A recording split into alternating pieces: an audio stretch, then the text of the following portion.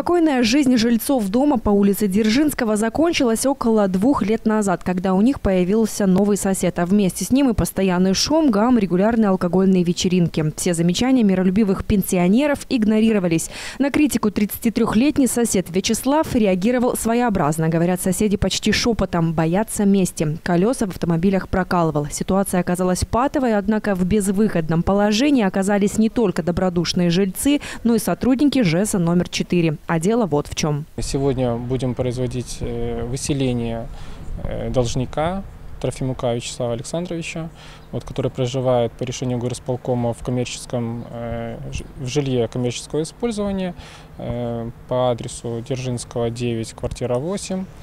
Вот. По решению горосполкома в 2015 году было предоставлено ему это данное жилое помещение.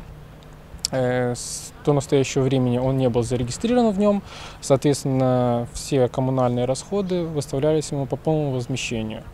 Э, в настоящее время долг перед коммунальными службами и городом э, является в деноминированных рублях 3000 белорусских рублей. В момент выселения в уже ничьей однушке многолюдно. Судебный пристав, участковый, коммунальники, журналисты. В общем, все, кроме тех, кто должен быть зарегистрирован в неприватизированной квартире. Вячеслав, его мать и брат. По факту здесь проживали два человека. Главный злостный неплательщик и его девушка. У молодой семьи скопился приличный долг и за коммунальные услуги, и за аренду. Предупреждали их не раз. Просили погасить задолженность, но этого так и не случилось. Решено выселить Трофимука Вячеслава Александровича из квартиры номер 8, дома 9 по улице Дзержинского в городе Бресте без предоставления другого жилого помещения.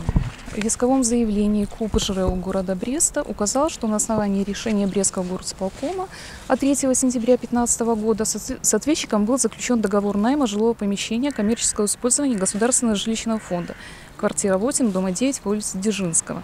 Ответчик не производит оплату за пользование жилым помещением и жилищно-коммунальным услугам. С вещами на выход вот только вещей почти нет. Вся мебель и техника, за исключением телевизора и посуды, принадлежит старым хозяевам. А потому необходимость конфискации имущества не возникла. Суд был категоричен. Его решение – выселить без права предоставления другого жилья. Работники ЖЭСа уже заварили дверь.